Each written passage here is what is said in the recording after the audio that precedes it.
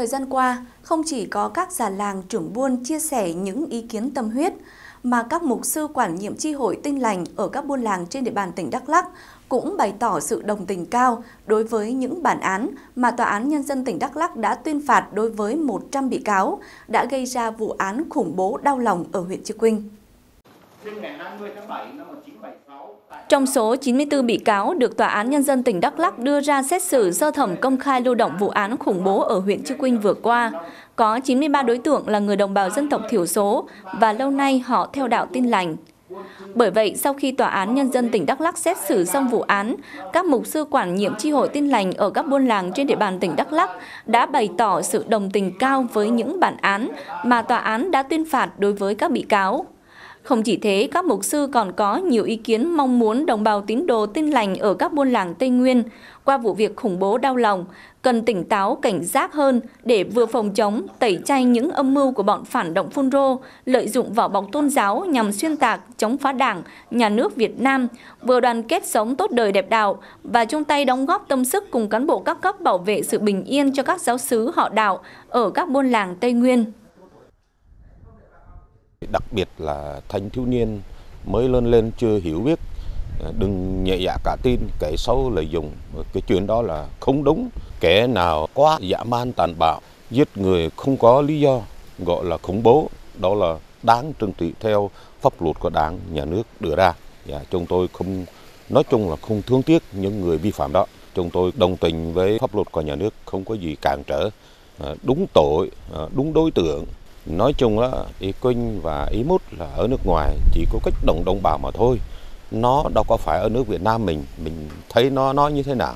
Còn là kích động trong đài truyền hình hoặc là điện đài hoặc là ở trong Facebook à, để kích động lôi cuốn à, đồng bào chúng ta pháp luật xử lý các đối tượng này thích đáng theo đúng pháp luật của nước Cộng hòa xã hội chủ nghĩa Nam chúng ta mỗi lần sinh hoạt tôn giáo kết hợp cấp ủy đảng ủy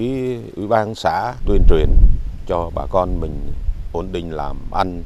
à, tư tưởng hành động tốt đừng nghe đừng theo đừng tin cái xấu lợi dụng. Vừa qua nói chung là điền đường trường trạm ở buôn làng chúng ta rất đầy đủ rồi không có gì thiếu. Rất phấn khởi và vui mừng đảng nhà nước quan tâm bà con làm ăn yên ổn về kinh tế trong sầu riêng rồi trong tiêu rồi cà phê. Nói chung là kết hợp với các cấp lãnh đạo chính quyền cũng như uh, ban lãnh đạo công ty cà phê Achim là đều hoàn thành tốt.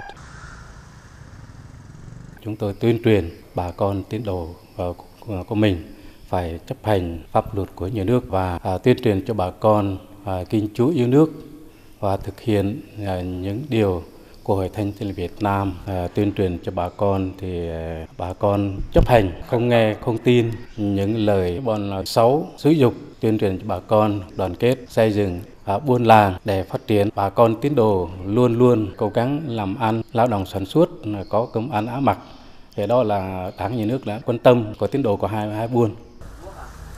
Tuyên truyền tín đồ để mà làm theo những lời mình truyền đạt từ lời Chúa, làm việc thánh, việc lành, việc đẹp, yêu nước và yêu đồng bào, yêu anh chị em trong gia đình và cũng như trong anh em không phân biệt. Lời nói và chung tộc hay mà ra có sự đoàn kết lẫn nhau yêu thương lẫn nhau, có sự đoàn kết chặt chẽ với nhau. Mong muốn là làm sao này, quê nhà được bình an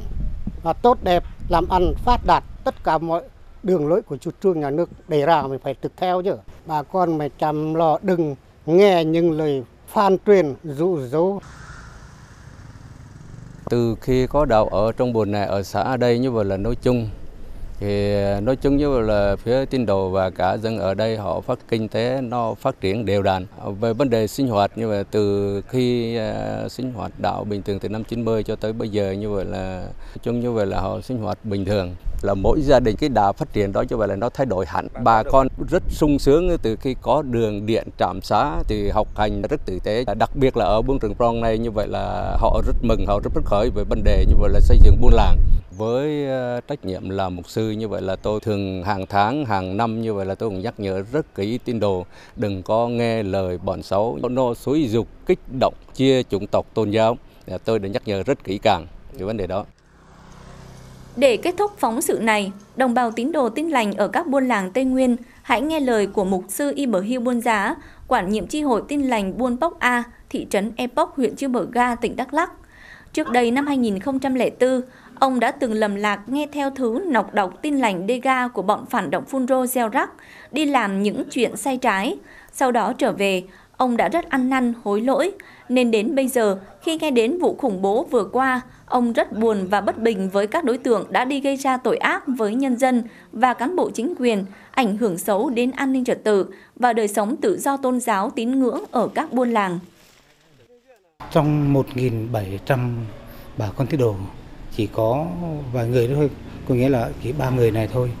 Họ nhẹ dạ cả tin nghe những lời dụ dỗ từ bên ngoài đấy. Tại vì do họ nhận thức của họ kém bà con tín đồ rất là buồn tại vì tại sao vì họ không phân biệt họ không nhận xét họ vội vã tin rơi vào cái tình trạng đó cái buồn thứ hai nữa nó mang cái khổ rất là nhiều chính bản thân họ con cái của con họ nữa việc họ làm nó sai trái nó vi phạm pháp luật mình cũng mong muốn pháp luật phải xử lý đúng pháp luật những người nó vi phạm để họ nhận biết tội lỗi của mình. Và sau này họ không tái phạm nữa. Người răn đe với người khác để họ thấy họ sẽ tránh họ không nghe họ không theo nữa. Về vấn đề mình mục sư nghĩa là đầy tớ của Chúa luôn luôn mình dạy dỗ họ phải theo đúng trong kinh thánh à, phải sống tốt đời đẹp đạo phục vụ Thiên Chúa phục sự dân tộc. Sống đúng một người tín đồ phải sống đoàn kết yêu thương đồng nhau giúp đỡ lẫn nhau đùm bọc lẫn nhau thì mình thấy đó cũng à, cũng hạnh diện và vui mừng tại vì à, vấn đề xây dựng của đảng và nhà nước đường điện trường trạm với thứ hai là à, các con cái cũng được đi học hành. À, 2004 do sự hiểu biết về pháp luật hạn chế cho nên đã vi phạm tham gia bạo loạn đấy. Cho nên luật pháp xử lý mình là 2 năm tù. Sau khi mình ra tại về ra tù về mình uh, hiểu biết về pháp luật, mình sống ở trong địa phương mình chấp hành đúng theo hiến pháp và pháp luật của đảng và nhà nước không tái phạm nữa. Từ đó mình được rút ra kinh nghiệm của mình đấy. Yeah, cho nên mình thấy cái từ đó nó mang khổ cho bà con mình cho con cái mình này cho vợ mình ở nhà này. Mình ở tù 2 năm giống như hai chục năm ở ngoài đời rất là khổ sở. Cái điều mình làm đó đây là, là sai trái. Mình rất là hối hận từ sai trái của mình mình rút ra bài học. Hơn nữa được sự tha thứ của nhà nước khoan hồng của đảng. À, hơn nữa bây giờ đảng và nhà nước chấp nhận cho phép mình một sự được quan niệm tại chi hội bất thiên vân Post từ nay tới đây mình sống đúng là một người mục sư để quan tâm bài chiên của Chúa, vậy thôi.